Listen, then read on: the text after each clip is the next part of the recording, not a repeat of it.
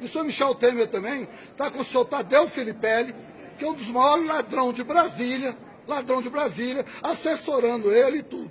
Eu queria pedir ao presidente da República, fui senador sete anos, não tem roubo nenhum meu, se achar roubo, que me leve para cadeia. Por isso que eu estou denunciando aqui.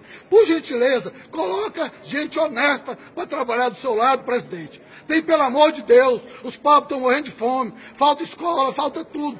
Tira esse ladrão do seu lado, presidente. Tira os ladrão. Tadeu Filipelli é ladrão. Tem prova. Me chama, me chama, Ministério Público. E o chefe da Casa Civil, esse está comandando aí, ladrãozão, pegou 200 mil reais do meu pai quando era ministro do transporte.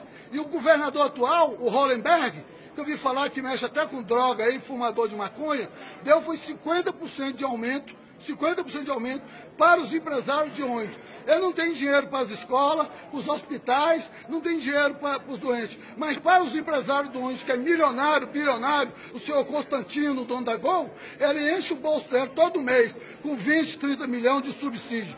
Hollenberg também é errado, o governador atual aqui, errado. O presidente tinha que ter moral e não colocar ladrão com ele. Eu estou revoltado de ser brasileiro, de ser ex-senador.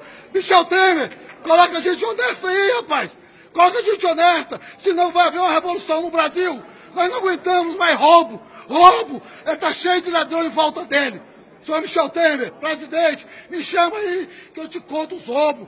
O Tadeu Filipe é ladrão. O chefe de atenção da Casa Civil é ladrão. E senhor tem mais ladrão em volta aí, rapaz. Tá? Eu estou revoltado com essa situação. Michel Temer, presidente, sabe que é ladrão e contrata. Sabe que o Tadeu Filipelli está com os bens direitos caçados politicamente, oito anos, que está envolvido em roubo aqui, tal, tal, tal, e coloca para andar do ladinho dele, puxando saco, batedor de papinho e tal. O senhor não devia nem bater papo com ladrão.